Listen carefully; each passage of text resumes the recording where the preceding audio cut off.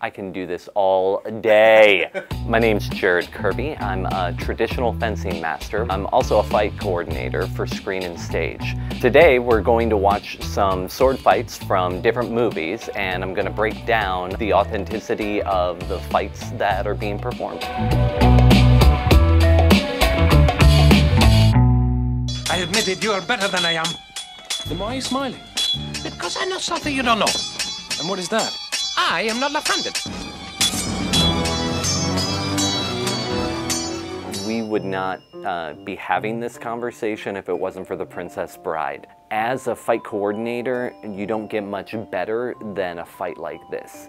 All of the rules that we have, it follows. You get character revealed throughout. The fight is extremely entertaining. The fight enhances the entire story. It's just brilliant as a fight coordinator. As a historical fencing master, I can just say that the moves are not the way that those swords would have been used.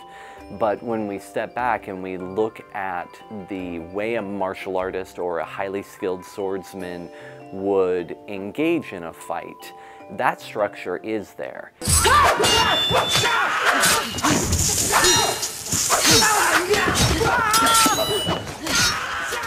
It's completely possible to defend yourself against the 88 when 80 of them are just standing back and waving their swords in the air. That definitely makes it easier.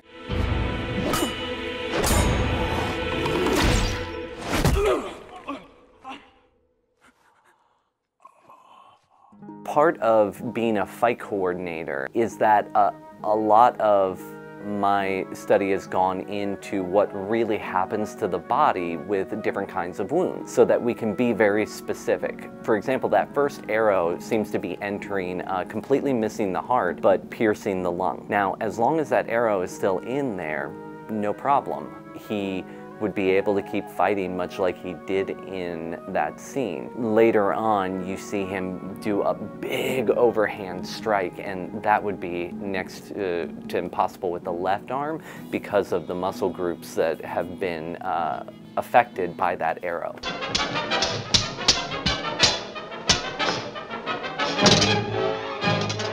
Errol Flynn and Basil Rathbone. One of the things that makes them really good in their sword fights is uh, at this day and age, we still have uh, studio men. Both of them are hired by the studio and their full-time job, if they're not actually shooting something, is to train in fencing and riding and, uh, and work in that way. Both of them were very accomplished uh, swordsmen. Uh, Basil Rathbone, much better than Errol Flynn.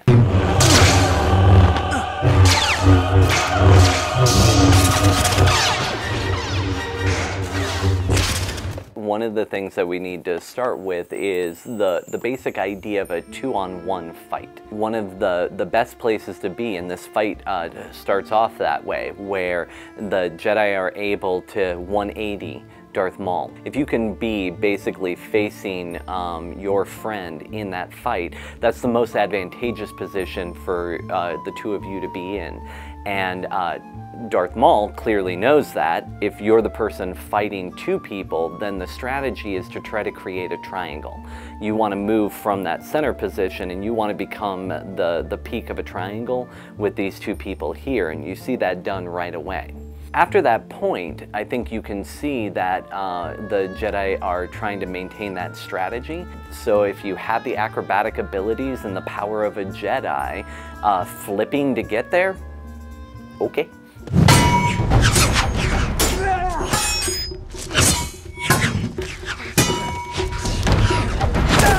When you have a sword alone, you use the sword to both offend and defend. But once you have an auxiliary like a shield, then you're using that shield primarily for defense. This fight does a great job of using it for offense when, uh, when they do that trap. You're using the sword to defend as well, especially on your outside line.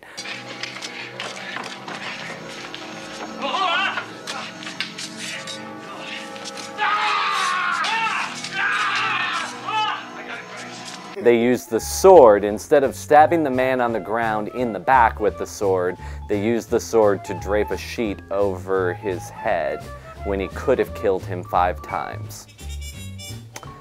Not the choice I would make. Realism uh, at least being grounded in that realism is what makes the, the fights that much more interesting to an audience.